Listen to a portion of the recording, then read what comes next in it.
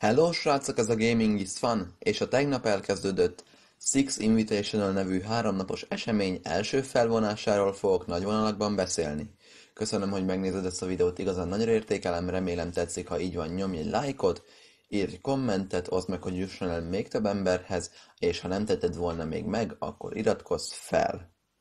Az adás elején köszöntött minket a házigazda, akit egyébként már ismerhetünk a Pro közvetítésekből, és elmondta, hogy a Siege sikeres első évét fogjuk megünnepelni ezen az eseményen, ahol a világszínvonalú versengés mellett Pár érdekes dolgot tudhatunk meg a játék múltjával, jelenjével és jövőjével kapcsolatban. Ne felejtsük el, hogy ez a háromnapos rendezvény többek közt arra szolgál, hogy megkoronázzuk a történelem első Rainbow Six Siege világbajnokát, így kezdődjön is az ostrom.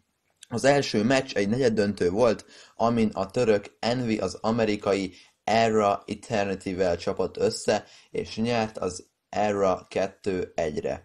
Ezután volt pár interjú és elemzés a mérkőzéssel kapcsolatban, majd megkezdődött az első fejlesztői ablak, amiben az egyik közösségi fejlesztő a játék fejlesztői csapatának fejeivel beszélgetett arról, hogy mikor és hogyan jött a Siege ötlete. Mint kiderült, 2013-ban egy középkori kép adta ezt az elképzelést, amin várfalat ostromolnak a támadók, akik próbálnak lyukat ütni a falba, a védekezők pedig minél több infót gyűjtenek a támadásról. Ugye ismerős? A fejlesztők csapatneve a Törhetetlen volt, ami a mentalitásukat jelképezte a készítés során. Aztán megszülettek az első kézzel készített rajzok a játékról, amiben vannak az első drónok, barikádok, falak, és ami óriási lépés volt, 2014-ben kitalálták, hogy még színesebbé tehetik a Siege-et azzal, ha a karakterek különbözőek, és megszületett a GIGN, mint operátorcsapat és az első operátor ahol a FAMAS, mint az ő fegyverük már meg volt jelölve. Érdekesség, hogy azt mondta ez a három ember, hogy nagyon szerették a csét, de úgy gondolták, ők tudnak jobbat csinálni.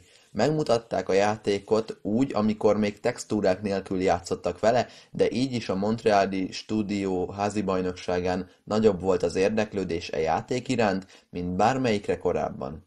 Ezután következett a második meccs, ami a német Euronix Gaming és a brazil Santos Dex között zajlott, ez volt a második negyeddöntő, amin 2-1 arányban nyert a Santos Dex. Az adáson többször is megjelent Alexander Zenaviev, aki Lord Tachanka hangja, és többnyire a közösségnek köszönte meg a támogatást. Egyébként óriási volt, a közönségben feltűnt egy lordos felirat, amin jót nevettem.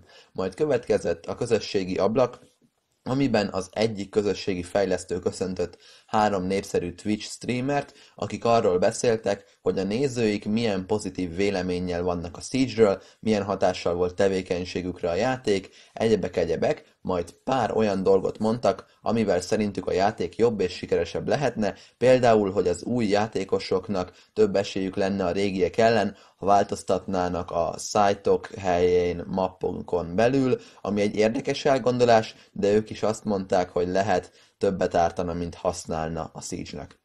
Majd a beszélgetés végén bejelentették, hogy 2017 nyarától megvásárolhatóak az első Rainbow Six Siege-es csibiszobrok, ami ugye a játékban lévő csármokként fognak kinézni, csak sokkal nagyobbak lesznek, és nem a fegyveredre, hanem az asztalodra vagy a polcodra teszed fel otthon. Egyébként Ash Tachanka, IQ, Montagne és Smoke lesz benne az első kollekcióban. Majd jöttek az Xboxosok az első negyeddöntővel, amiben az ausztrál Mindfreak és az USA-ból érkező Lethal Gaming csapott össze. Az amerikaiak nyertek 2-0-ra. Következett a kreatív Q&A, amiben a közösségi fejlesztő három fontos emberrel beszélt. Egy game designer, aki a multiplayer egyensúlyért volt felelős, a játékmenet programozója, és a harmadik pedig egy hölgy volt, aki a háttérsztorikat írja az operátorokhoz és a pályákhoz. Mind a hárman fontosnak tartották kiemelni, hogy hallgatnak a közösség szavára, de csak akkor tesznek egy változtatást a játékba, ha az adatok alapján is indokolt.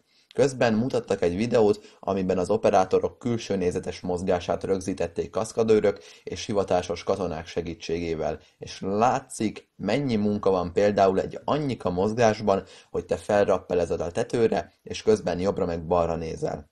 Egy másik videóban pedig azt láttuk, ahogyan a játékmenet programozója változtatgatja a fegyverek rikoéját, ahogyan egy-két kattintással lehet jobb vagy rosszabb egy fegyver. Majd jöttek a kérdések. Kiderült, hogy nem fogják a rankedet visszatenni négy percesre, az is, hogy kettő szezonnal előbb megvannak az operátorok, vagyis most a nyáron jövő lengyeleken dolgoznak, aztán, hogy hogyan találnak ki egy operátort, azt is elmondták, emellett megindokolták, hogy miért nem tudják a védekezők már a túszt mozgatni, és jellemezték a rombolhatóságot az alapján, hogy milyen anyagból van a felület, és mekkora kaliberrel lőnnek bele. Ezután Xbox One negyeddöntő következett, amiben két francia csapat csapott össze, a Lucky Seven és a Supremacy. A Supremacy 2-1-re nyert egy nagyon szoros meccsen, majd egy rövid elemzés után megköszönték a figyelmet, és azzal búcsúztak el, hogy a következő két napban még érdekesebb és izgalmasabb showval vár minket a Six Invitational.